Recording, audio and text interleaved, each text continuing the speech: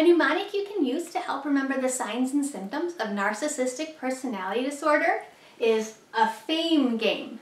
So A is for arrogance, right? That's the first thing we think of. F, fantasizing about unlimited success and wealth and power and brilliance and beauty, all of these things. Admiration is required in excessive amounts, so I need a lot of positive attention to make me happy. That's what that means.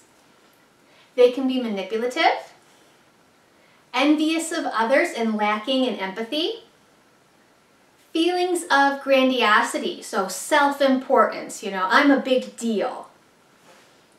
A associates with what they perceive to be special people or even institutions. So they are friends with these people or associated with these people that they think are important and they think it makes them look important too or institutions as well, being associated with, you know, I went to Harvard and I got to tell everybody I went to Harvard because that makes me special. That kind of thing, okay? So they need to be associated with things that are seen as special because it reflects on them.